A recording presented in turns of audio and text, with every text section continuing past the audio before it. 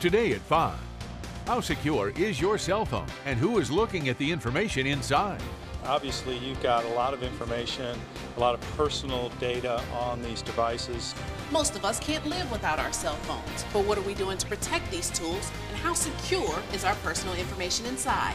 I'm Perrise Thomas and I'm getting you those answers. Secure your cell. A special report. Today at 5 on WJTV News Channel 12.